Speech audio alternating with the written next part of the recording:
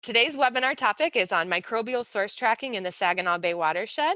I'm here today um, as the facilitator. My name is Meaghan Gass, and I work for Michigan State University Extension and the Michigan Sea Grant Program, and I'll be helping facilitate uh, the webinar. Um, and we also have our um, guest speakers, uh, Joel Kwiatkowski from the Bay County Health Department and Dr. Tami Sivy from Saginaw Valley State University, who will be sharing information about the microbial source tracking project in the Saginaw Bay watershed, in addition to uh, the beach uh, monitoring program in Saginaw Bay and Bay County. So without further ado, um, Joel Kwiatkowski uh, from the Bay County Health Department will uh, begin his presentation. We'll begin. So bathing beach program here in Saginaw Bay. Um, I represent Bay County Health Department. Um, so speaking for everybody though in the Saginaw Bay watershed area, we've been testing the water for over 30 years. Um, testing for fecal coliform bacteria, and in the 90s it changed over to E. coli as an indicator. Um, designated Y is to find potential hazards for swimming in the Saginaw Bay area. So um, we're the unpopular group, the health departments that put the closure signs up, but we are testing the beaches to make sure it's safe to swim. We don't want people in the water when it's not. Um, Beach Act of 2000 was adopted in Michigan in 2004, which is what designates the beach um, as a beach. What is a beach? Basically, it's the public area where anybody can then enter the water and make use of our Saginaw Bay.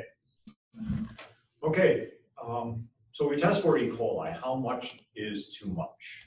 Um, in a single event, if we sample in one day and the level is over 300 E. coli in 100 milliliters of water, unfortunately, we get to close the beaches. Um, if it's over 130 in a 30 day average, meaning the ongoing average is high all the time, we would close the beaches and leave them closed until that 30 day average drops below 130. How do we test? A little bit on that briefly. The old testing methods were cumbersome. Um, they took a long time. They weren't such as multiple tube fermentation, not really the most accurate method, however, is what we had at the time. We moved into membrane filtration, which was a very accurate method, still very time consuming, and then into Colilert and Quanti-Tray, which we still use today, um, but luckily we now have some rapid te testing methods. Um, those rapid testing methods um, are, are definitely a welcome um, thing we have now. Old results 18 to 24 hours after the day we tested, kind of too late. If the beach was bad yesterday, we find out today, um, we're not really doing the public any good. So with rapid tested methods now, we can get results same day, two to four hours sometimes. So testing the beaches, basically we walk out with waders, fill bottles, um, bring the water back to the lab we test the beaches that are considered public beaches. If it's a public beach based on the designation in the Beach Act, we're out testing those beaches weekly. We have what's called an area of concern or an AOC in the Saginaw Bay and Saginaw River. That AOC is um, determined by a beneficial use impairment without getting into that too much, one of the beneficial use impairments we have are beach closures. We close our beaches and we close our beaches too often. So we are listed as an area of concern because of that. And you can see in the sign, one of our closed signs, one of our unpopular closed signs. So something we don't like to do. So, and then what is an, AO, BUI? Um, it's, I'm not going to go into it and read this, but um, something we want to get rid of. And how are we going to get rid of? And you will hear a little bit later from Tami. Um, we will be doing source tracking continually to try and find the sources of the bacteria and hopefully find a way to stop contamination that's coming into the Saginaw Bay. Let's talk about Saginaw Bay. Let's talk about some of the unique problems we have here. Um, this is a good part of the webinar for me. I like to talk about Why are we having problems? Where is the bacteria coming from? What are the problems we have? Figuring all that out. So here's a picture of one of our drain discharges. Um, you can see on the picture that the water is bubbling up out of the hidden drain. And this, this is a point where we know we have high E. coli numbers. It's coming from some of the drainage ditches, which we are testing in the source tracking. And as that goes out into the bay and mixes, that's impacting our beaches. So some of the other problems, when you look at the, the Saginaw Bay and the watershed, we have influence from the Saginaw River, the Kawkawlin River. There are drainage ditches within the bay every half a mile to one mile, the entire bay and through the watershed. Um, wind changes the flow. It can be moving once one way one day and a different way the next day makes it hard to determine if we have an, uh, an inflow of contamination from a drain. Where is it going? We don't always know. Um, runoff from con- concentrated animal feeding operations or CAFOs, septic system discharges, uh, retention treatment basins. Um, a little bit on those concentrated animal feeding operations. Those are uh, large feeding operations for, say, 10,000 chickens or maybe a thousand head of cattle. The runoff from those end up eventually into the watershed and into our bay. Um, septic systems. Septic systems could discharge directly to a ditch, although uncommon as a direct discharge, you're just going to see it could be something going into, say, fuel tile and eventually working its way to a ditch down the road, or it could go into somebody's sump pump and pump out, and they may not even realize it. Um, it could be a seepage going through the groundwater or one other way that is very difficult to find. Um, retention treatment basin overflows. We have an aging infrastructure of sewer systems and drains that lead into large storage facilities, and those sometimes, um, after some partial treatment, end up overflowing into our watershed, and that is another potential problem. We have erosion from um, riverbanks, streams, farmland, all the drainage ditches coming in. Um, we also have one of the largest waterfowl habitats in the world in Saginaw Bay, which means we have contamination from birds and many, many different species of waterfowl. Um, that also makes it difficult to determine sources when we're doing the source tracking part. Saginaw Bay is also very shallow and very warm, so that leads to more and more bacteria. It's, it's a good environment for bacteria to grow. Um, our influence area in Saginaw Bay is five and a half million acres, covering 22 counties. Some pictures, some ducks, those are part of the waterfowl issues we have. There's uh, multitudes of waterfowl everywhere you look within this bay. Um, loss of topsoil drainage. You can see a picture of a, of a farm. That all ends up into our bay. Some of the stagnant ditches. This is actually a sample point on the right side where we're sampling one of the drains. And we do find some very high E. coli numbers there. We are finding a lot of bird contamination. Some of the preliminary uh, data seems to show, and as you can see, we have a lot of birds. Um, septic systems. Here's some old um, archive photos right from Bay County from discharging septic systems. The one on the left actually did go down to a bank and um, during heavy rain would enter the, or the Kawkawlin River.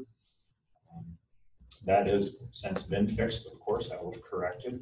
And then on the right, you'll see another septic discharge, which when it rains, that little puddle of sewage may end up in a ditch in the bay. Multiple outflows from um, unknown sources can enter ditches, um, rivers, streams, wherever. That all ends up in the bay also and impacts our, our beaches. The concentrated animal feeding operations in these pictures, the chickens, cows, uh, those exist within our watershed. Here's an interesting picture, an aerial photography of the Kawkawlin River. It shows um, when the discharge comes out of the river, depending on the direction of wind, one beach may be safe on on one side of the mouth of the river, and on the other side it may not. And as you can see, the coloration from the water moving one direction and not the other. Um, and that could turn around in a matter of an hour with a wind change, meaning the beach could be safe now and not an hour later. So those are some difficulties. And then um, satellite imagery of the bay on the right show the discharge from the Saginaw River, how it's moving more to the east. You could check that a week later. It might be on the west side of the bay. So uh, our contamination sources coming in from all the influxes move daily. Um, it's, it's, hard to determine where and um, determine ahead of time where those may be. So when are the E. coli results high? We're finding that in high winds, it's turning up bottom sediments. It's washing contamination off of the bay beaches. Um, it seems to impact the numbers. We have heavy rains that tends to lead to high levels. It all leads to um, a guess. Predictive modeling is difficult. So what are we doing now? Well, qPCR is one thing.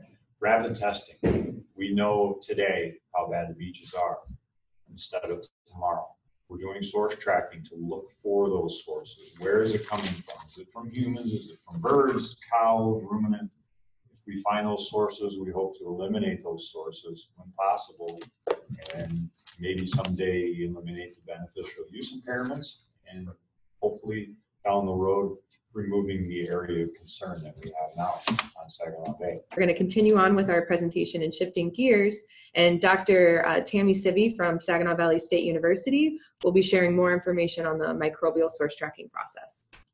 Hi, everybody. Um, I, as Meaghan said, am from SVSU, and my students and I, for several years, have been privileged to work with the area Bay, uh, the area Saginaw Bay health departments in using some new methods in order to uh, study and determine sources of fecal contamination in order to aid in protecting human health. All right, so Joel has already touched on this a little bit, but I just want to go a little more in depth and talk to you about what it is that we're actually measuring. Uh, coliforms are a general uh, category of bacteria that we use in order to figure out what the health of the watershed is. Uh, so high levels would indicate that there's a lot of bacteria, and low levels would suggest that the health is pretty good. Although we're always going to see certain certain numbers of bacteria. Uh, we're mostly interested in whether there are fecal coliforms because that would indicate that there's been some contamination from feces. Um, rather than having to study all of the pathogenic microbes that may exist in fecal contamination, we actually have chosen typically to study one certain one, and that is E. coli. E. coli is at a high incidence in feces, and we can use it as a good indicator, um, depending on its levels, as to whether we think there is fecal contamination in a waterway or not. So if you're familiar at all with a method of testing for E. coli, it's probably the Colilert method. The Colilert uh, method is a culture method. It's uh, put out by the company IDEXX, um, and it requires overnight incubation, as Joel mentioned, in order to determine the levels of E. coli. Very briefly, uh, E. coli specifically produces an enzyme called beta glucuronidase, and E. coli is the only bacteria that produces this enzyme. So when we incubate a water sample with a bacteria culture medium as well as a synthetic substrate for this enzyme, um, if there is E. coli producing the enzyme, the enzyme will work on that substrate, on that molecule, and produce a fluorescent product. So what you can see in this glowing tray on the right is um, a number of wells that have fluorescence, and that tells us that E. coli grew in those wells. And by counting the number of fluorescent wells after that overnight incubation, we can then back calculate in order to determine the levels of E. coli. Now, as we've already learned, the allowable level in the state of Michigan for full body human contact on a daily basis is less than 300 CFU per 100 mils. CFU stands for colony forming units. It's basically the number of cells that were in the sample originally. There's been a lot of work done on this method. Uh, correlation studies with um, epidemiological analysis that shows the number of E. coli, that is this 300 CFU, which would indicate that there are potential pathogenic microbes in uh, the water. And uh, that correlation has been done with uh, different incidences of gastrointestinal illness. So this is a well thought out, wonderful method. It just has that one main issue, and that's that this long incubation could lead to humans having contact with contaminated water before we realize it. All right, so in order to circumvent that long incubation time, the EPA has been working for several years on uh, making these rapid DNA testing methods. Um, so we have joined with the EPA under the guidance of EGLE and MSU. Um, several of the health departments, as well as academic institutions in the state of Michigan and a few others throughout the country, uh, are working on these rapid DNA tests. This, very briefly, is showing how this rapid DNA testing works. Um, We've chosen a specific gene in E. coli. Again, we're using E. coli as our indicator bacteria. We can bracket this gene with these primers, which are just DNA sequences that um, will bind to the sequence of interest. We also have a probe, which has a reporter on it. And when we incubate this uh, all of these things together. It's kind of a little bit like cooking, but uh, when we incubate them all together, an enzyme will actually amplify that specific bracketed piece of DNA and it will kick off, knock off that fluorescent reporter. So, how does this fit into our overall testing? Well, as we do with Colilert, we collect the water sample. We actually go a little deeper than this picture shows, uh, but we put on the waders and go out to waist deep water. The water is brought back to the lab. We filter the water sample. What you can see here is a filter with the with the brown uh, circle on it. That's all the sediment um, as well as other things like cells that we collect from the water. Uh, from those cells, we really just beat the filter uh, that breaks open or lyses the cells in order to give us a, a, DNA sample that can function as a template for that quantitative polymerase chain reaction method that I showed you on the previous slide. What's on the bottom here, these two graphs, is just the kind of data that we get. Uh, we won't go into how the analysis is done right now, but realize that the amount of fluorescence or reporter that we see uh, is uh, is able to determine how much of the E. coli DNA was in the sample to begin with. So we go through quite a bit of calculation in order to come up with a number of E. coli cells that are in the sample. So this uh, method, the quantitative polymerase chain reaction method that measures E. coli DNA, it's called Method C by the EPA. Uh, it's gone through a long validation study, literally hundreds of liters of water have been analyzed by uh, 21 different laboratories in order to determine whether this method uh, will actually give us uh, results that would allow us to accurately close beaches. Um, and I'm so thrilled to announce that in just this past June, uh, two papers were published in Water Research. You can see all the various authors there, which just shows the huge amount of time and commitment that was put into getting this this method validated. Um, these papers share some of the uh, uh, the data criteria for this method. And drumroll please, dun, dun, dun, this is the number that we're looking for with this rapid DNA testing. 1.863 log 10 DNA copies per reaction. I'm sure this number doesn't mean much to you. Um, it doesn't mean much to anyone uh, except those of us who have been doing this validation study for a long time.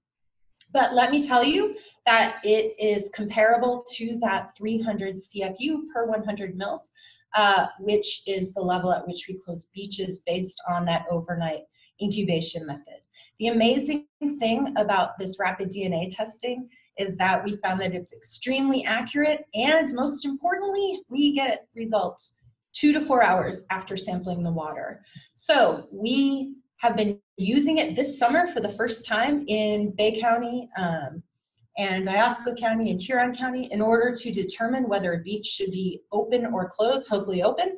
Uh, and we actually enter those results into BeachGuard, the Michigan BeachGuard site, in the afternoon of sampling rather than the next morning. We're also continuing to do Colilert though in order to make sure that uh, our results are reliable. So those Colilert results are then entered into BeachGuard the following morning when we obtain them.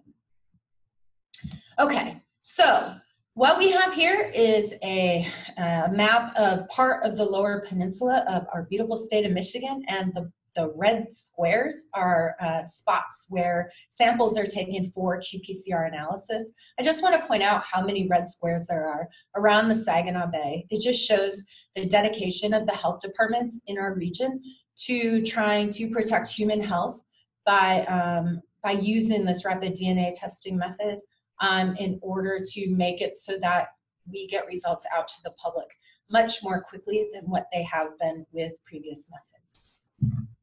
Okay, so this webinar is supposed to primarily be about source tracking, but in order to get to this discussion about source tracking, I needed to tell you about some of the rapid DNA testing methods that we're using now because they those methods and um, that molecular the molecular biology techniques have brought us to this point where we can do source tracking. That is not just determining a level of fecal indicator bacteria, but hopefully determining the actual source of that fecal indicator bacteria.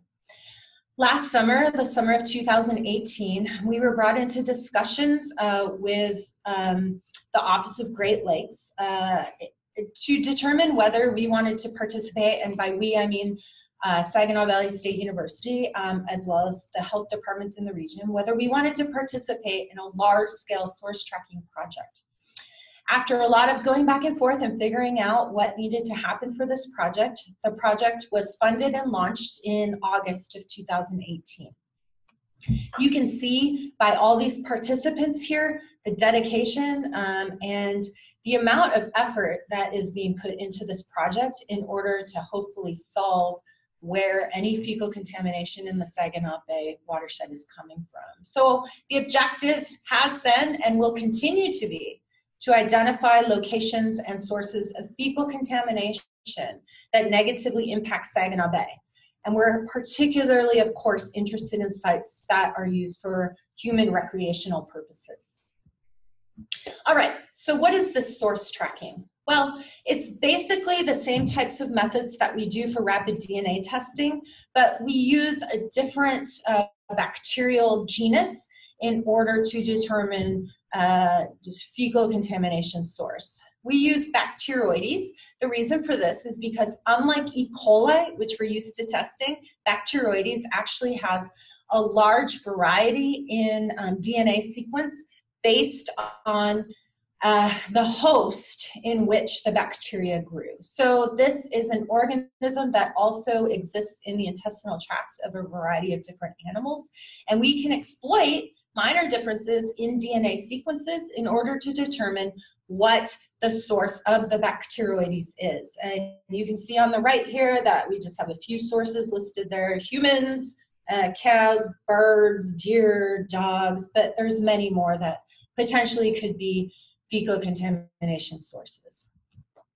So with our pilot study, which we began last August, uh, we were able to use quantitative polymerase chain reaction, the qPCR methods, very similar to the rapid testing, but this time uh, specifically geared towards Bacteroides, uh, we were able to pick up human, ruminant, and bovine markers. What I'm showing here are just the standard curves that were used in order to make this uh, method quantitative so that we could actually relate or compare the levels um, of the markers that we picked up at each site.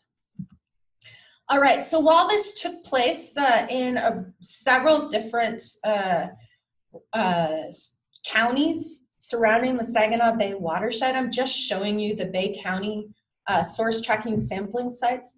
In addition to our typical uh, beach uh, beaches that we test regularly up to three times a week. We added on many different drains and bridges um, and other inlets into the Saginaw Bay. Uh, the whole project has 31 different sites. This summer, we have even a few more that we've added in order to do this source tracking analysis.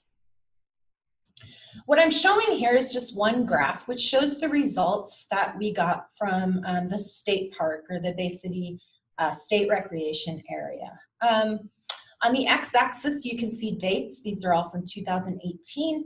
Uh, the blue bars are showing us uh, the Colilert results, which are in colony forming units per 100 mil. And rem remember that 300 CFU per 100 mil is the limit for allowing human exposure to the water. That is, we closed the beaches at 300 CFU per 100 mils. And so of all of these tested last summer, there was only one date, uh, and that's May 29th when the beach was closed. And it's really awesome that the beach hasn't been closed since. So uh, the Bay City State Recreation Area has been exceptionally clean since that one day last summer. Uh, we actually did test many more days with Colilert and rapid testing than what's shown here, but all of the dates shown here are those which we continued with in order to do source tracking analysis. What you can see in our source tracking results and the numbers based on that log number, the log 10 DNA copies per reaction. Um, on the second y-axis, you can see what um, the units are. We have two dates which showed evidence of human source, uh, human Bacteroides marker. Um, now, the unfortunate thing is that because the funding and the project didn't officially start until August, while we had these samples stored for our normal beaches, we don't have them previous to August of 2018 for the various inlets that we added for um, the remainder of the study. So what we're doing then is um, expanding uh, the testing season this summer. We actually have samples stored for all of 2019 at our beaches, as well as all of the inlets that we're using for source tracking analysis.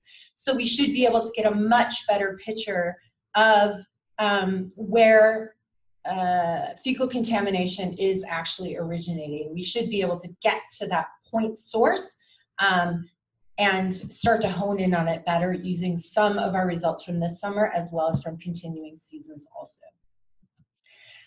I'm super excited to say that the Office of Great Lakes Money also, the funds also uh, allowed us to purchase a digital drop polymerase chain reaction system. Uh, this is just a picture of the system that is at MSU. They had it first, and we now have it, and we're the only two, as far as I know, using it for uh, source tracking in the state of Michigan, so we're really excited to be using this advanced technology. The idea is that it's basically quantitative polymerase chain reaction on steroids. So if you'll just uh, forgive my biochemistry geekiness for a second, uh, I want to explain why this ddPCR is so much better. Essentially, while with the thing labeled as A here, you see that's the standard qPCR. We only have one reaction. In B, this shows the ddPCR, the digital drop PCR reaction um, method. And what happens is that one reaction is actually divided up into 20,000 droplets. Uh, in those 20,000 droplets, then you get partitioning of the DNA template, and it makes it more likely that the, the enzyme, the polymerase that's responsible for the amplification of the DNA, it can hopefully find its template much better. Additionally, it should separate out any uh, interfering compounds that prevent the qPCR reaction from occurring. This is something we've been fighting for um, a long time in our methods in the Saginaw Bay watershed. As Joel said, it's a really complicated watershed, and there's a lot of things in the water that sometimes make it so that our qPCR reactions don't work great.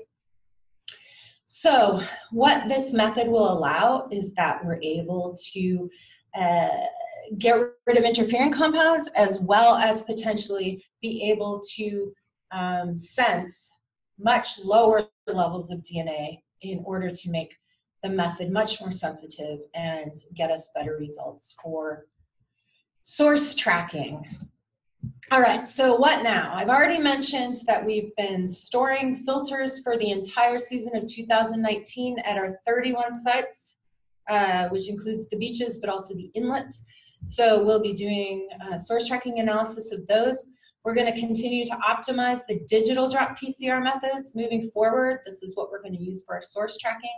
One of the most exciting things about it is that we can do more sources. Uh, we tested for human, ruminant, and bovine. Um, and something I didn't mention before is that ruminant does include bovine, uh, but it also includes deer and goat and sheep uh, and maybe llama. Uh, but anyways, uh, the ruminant one is much more sensitive than the bovine one, so that's why we use that, market quite a bit.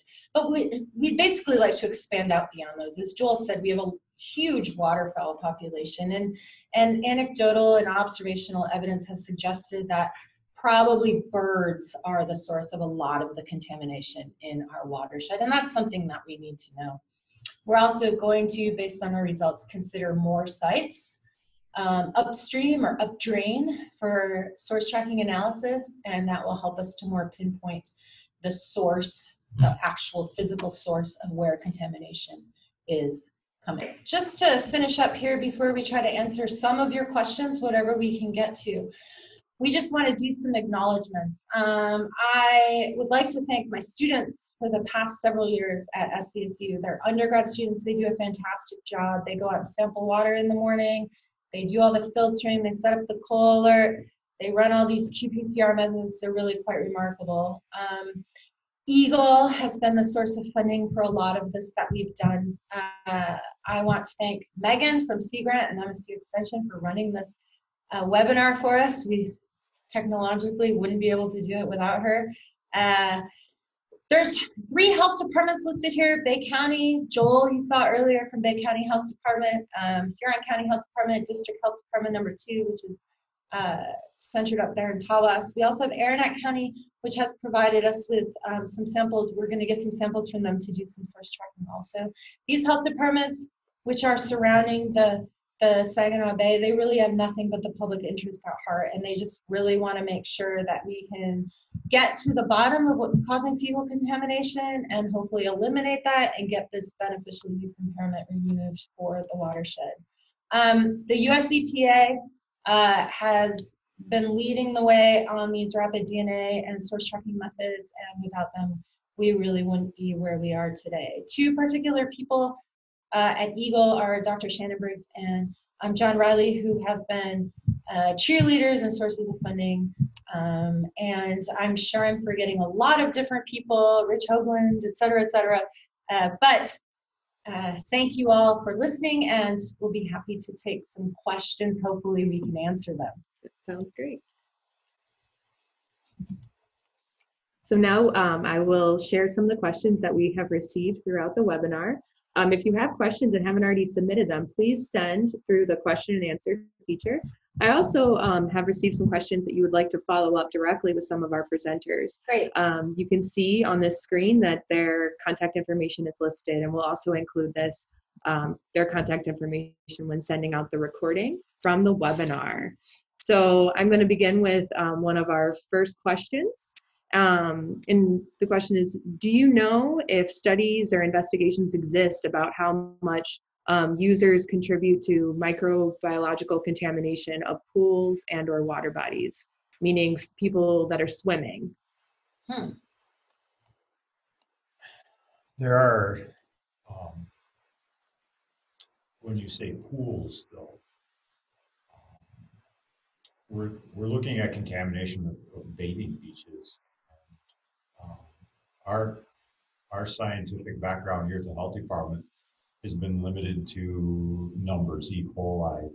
And, um, you know, as far as sources, that's why we're, we're working with SVSU right now to figure out where those sources are coming from. And we're hoping to get a, a handle on that to find out, you know, what's going on and where the sources are, what the percentage of each source is so we can uh, um, hopefully eliminate the problems. Sure. I think I think maybe what is suggested is that in a smaller volume, when there's people in the water, are the people who are in the water contributing to Okay. the contamination at all. So th- those are studies that may have been done in a pool because you have limited volume there, but also, you know, in a larger beach area are those swimmers. Mhm. Yeah. Yeah, I wouldn't, I wouldn't say that there's testing that shows anything from, from the swimmers themselves. We hope not. Um, Not, not out of the bathing beaches, no. Okay, that sounds great. Well, thank you for addressing that question. Um, I have another one. Um, are there any labs in Wisconsin that are doing qPCR testing that you are aware of? Definitely. Um, Sandra McLellan's lab, uh, which is in Milwaukee, I believe. She uh, has been doing this for a lot longer than we have. Um, and there's a few other labs that work with her, um, and they uh, they have been great and helpful for developing the, the source tracking and rapid testing methods. Great, thank you. Um, and then for the, we had another question related to RTBs, which are the re- retention treatment basins. Um, so in Saginaw and Bay City, um, aren't the RTBs under a permit to treat and protect uh, public health and regularly meet their disinfection requirements? So just a clarification on the permitting side re- regarding RTBs. Yes, um, retention tre- treatment basin discharges are tested and they have to, um, be with, I think the, the number is two hundred colony forming units is what they're looking to be under as far as discharges. Um, to, for, to clarify what a retention treatment basin is, um, stormwater and sewage mix within the old infrastructure. The old pipes they end up in large structures where there is partial treatment done. It's not raw sewage dumping into a river. It is partially treated. It goes through that treatment process. Um, during very, very heavy rains, the infrastructure is not capable of holding that much water, so it does discharge out into the rivers. Now, uh, there are notifications that come to the health department and to, to other localities and when those discharges happen that is required so we know when that happens um, and how often so and that is something that EGLE is tracking the entire time and they do offer permits and give permits to the municipalities that do have retention treatment basins so i, I hope that answers that question Yes, thank Can you. I just interject something? Right after I stopped the last question, I remember that I should also mention, mention Julie Kinzelman, who's in um, Wisconsin. Um, I should have these names ready to go, but I, I don't. So she also has been really important in helping with the um, with the qPCR methods. Great, thank you. So what is the cost of qPCR? Um, I guess if you were doing, if, I don't know if you- if you could break it down for like one test, but, So we're regularly trying to figure that out. Um, we run these on a 96 volt plate, so uh, good good question. It's more expensive than Colilert, Mhm. but it's much faster than Alert. Um, it probably costs. Oh, I hate to put an amount to it.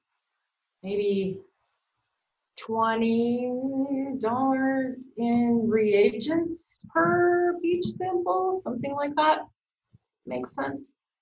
that sounds good. Um, and I think thinking about the cost is always something to consider. Yes, of course. And then we can think about this in terms of just in comparison to Kohler, that it's, Right. it's more expensive, but you also do get more information. Right. And it's quicker. Yeah, and of course, for all of these things, manpower is the the, the largest expenditure. Um, but uh, it takes a lot of expertise to be able to run um, the DNA testing. So uh, what's been great for us is that we pay students to do it, Mhm. um, and I I hope they think they're getting paid pretty well for a summer job. But they do a pretty fantastic, remarkable job at it. Great. Um, so as far as you know, do you know if they're using DNA tracking in the qPCR method in the Huron River, um, Southeast Michigan? Not sure if you're aware and if it's okay if you do not know. Um, I do not. Okay, sounds good. So look more into that later. Um, I'm sure you can always contact Shannon Briggs, Dr. Shannon Briggs at EGLE, who knows everything about what's happening in the state of Michigan. I don't know how she remembers it all, but she does. Um, and then we had a question about clarification Sure. um, for beach closures um, and the level at um, for the coliform for three the 300 Mhm. um, CFUs. Mhm. Um, and with that, when we reach that level, is swimming not allowed, or is the beach posting a warning that our bacteria levels are high? So how do you, I guess, spread the word if you are over that um, number? Okay, so as soon as we receive results of a, of a beach that has a, a level over three hundred, we do a beach closure, meaning that public, public beach is closed for use. Um, it doesn't mean we're standing there stopping people from swimming, however, um, a closure is a closure, meaning don't go swimming. Um, It's, it's put out on the news network, we have, um, a large number of um, contacts that we send out that information to immediately. So then it's posted on the news, both on locally on MLive, on TV5, TV12. They usually notify people as soon as, po- as possible. It's put on Beach Guard immediately, so that closure is on Michigan Beach Guard system. You can go on the Beach Guard system. I generally update that immediately when I know and then send the news um, alerts out. So the news alerts will come a little bit later. Um, and then again, with rapid testing, we're able to sometimes open those beaches the following day, literally two to four hours after the testing. So that's exciting for us because in previous years, as I mentioned before, it was always an extra day. It was a day late. That beach may have been okay the day we actually closed it because the data was from the day before. So um, we're excited to be able to get data and results in, almost immediately. Uh, and um, do we stop people from swimming? I'm sure people ask. No, we, we don't have the ability to go out there and stop you, but I would warn people. I've seen people in the past as I'm posting a beach with a sign swimming. I do inform them, you know, please get out of the water. It's not safe. And we don't want anyone becoming ill from anything that may be out there contaminating the water. So it's, it's in our best interest and everybody else stay out of the water and the beach areas that we do close. Thank you for answering that question. Um, we have another one, and it's uh, an if question. So, if birds are the main source of fecal contamination, by what method would you recommend preventing that contamination in the watershed? And it's the big, That's- big That's a question. good question. So I, I do know that in the state of Florida, they've determined that some of the sources of contamination on, and I don't know which beaches offhand, were primarily from bird contamination, no, no human contamination. Um, so they actually changed some of the local regulations in some of the areas in Florida where it was all bird contamination. And they don't close the beaches per se when levels are high. They warn people that there are high levels of bacteria. And it's not a closure. So I'm not saying that's where we would go in Bay County or within the watershed, but if we determine that the sources are only birds, we may change the closures um, after reviewing that. And how do we stop it? I, I don't know. That's a good question because birds are natural to the environment. There may be more studies to find out what do birds contribute beyond um, the E. coli. There's a lot of different things that would have to be studied to find out if that source of contamination is actually a problem or not. And there would be more studies to determine what we're going to do with that. Great, thank you, Joel. So we have another question. Um, when thinking about county health departments, so is there any funding available to help um, get these health, health departments set up with the qPCR technology? In the state of Michigan, um, I believe it's been offered to health departments or they've been partnered with an academic institution in order to do that. I hate to do it again, but eh, they should contact Dr. Shannon Briggs at EGLE. Um, but my understanding is in Michigan, this has been pretty well rolled out. Not everyone's using the rapid testing yet, especially not to close beaches, but um, they've been trained in it uh, and are continued to be trained in it. Great, thank you, Tami. And then for those that would like um, Dr. Shannon Briggs' contact information, we can definitely share that as a follow up uh, to the webinar. Sorry, Shannon. Um, so um, another question we have is um, we are so this question is um, related to human Bacteroides Mm-hmm. Um, so uh, the person that's asking this question is currently getting human Bacteroides results from MSU with results reported as gene copies mm-hmm. per 100 milliliters. DNA copies and gene copies are the same thing. Okay. Mm-hmm. So their question was what level of human Bacteroides indicates a sewage source is present? I don't know that that's necessarily been determined. Um, realize that source tracking is kind of a hit or miss thing where you can take samples at different times of the day and they're going to vary. You can take samples in the morning and you're going to see some source and then it may have diluted by the afternoon and, and you won't see it anymore. Um, so if you see it at all, there's a suggestion that there's some sort of influx of human sewage from somewhere. Um, at what level do we actually get concerned with this? That's something that I think is still being considered. Okay, great. Um, well, thank you for sharing that information, um, Dr. Sivy. So um, this is a question about the testing methods. Mm-hmm. So with these new testing methods, have they resulted in more closures than in previous years? Uh, we have had more closures at a particular beach I'm sure you are aware South Glenwood this year, but it's not because of the testing method. Uh, it is because there have been high levels of fecal indicator bacteria as I mentioned in the um, webinar, we're not just doing rapid DNA testing. So we're doing that and closing the beaches based on that. And we're still running Colilert as a backup to check the next morning because this is the first summer of doing those results. And the Colilert has backed up what the rapid DNA has shown us. So we haven't closed the beaches more because of the new testing, but it has allowed us to close the beaches in a timelier fashion so that we can prevent people from going into that contaminated water earlier. Great, thank you for answering that question. Um, with the qPCR and ddPCR methods, mm-hmm. how do you differentiate between, um, and this is a question, might, uh, how do you differentiate between live and dead species? Ah, that's a great question. we don't. Um, DNA from live versus dead bacteria, we can't tell the difference. However, that's all worked into that, um, especially for the rapid DNA testing. The live versus dead amount um, remains a pretty constant ratio, and it's been worked into that 1.863 log 10 result. So that that is comparable to the 300 CFU, which is live bacteria. Um, it's comparable to that number. Um, so it may have some dead bacteria in it, but we know uh, that it correlates to live bacteria in the Colilert test. Great, thank you.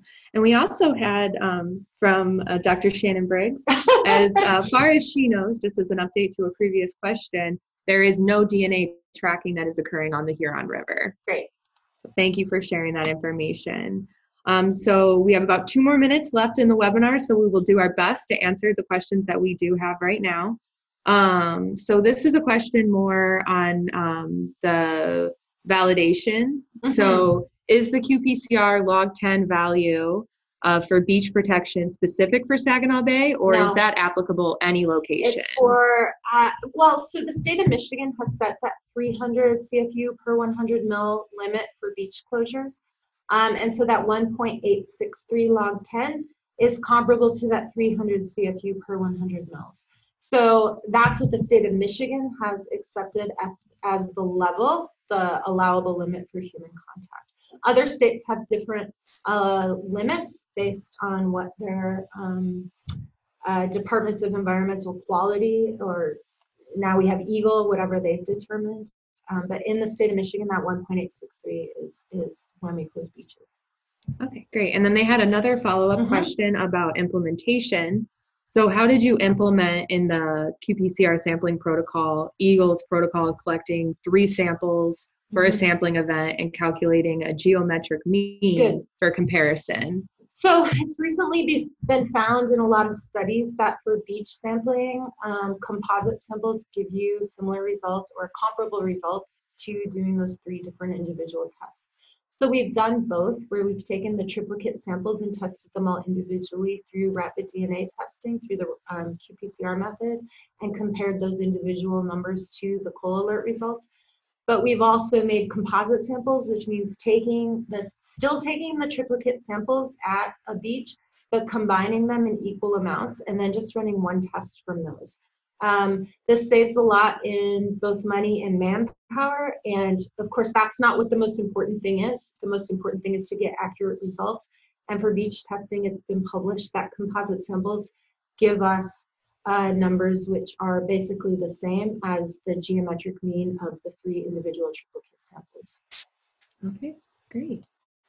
Well, thank you so much for answering that question. We have reached the end of our allotted webinar time, so our apologies for those that still have questions that are unanswered. You are welcome to directly address your question to um, Tami or Joel directly via their email, um, or um, you can also send me an email with your question and I can share it with our subject matter experts.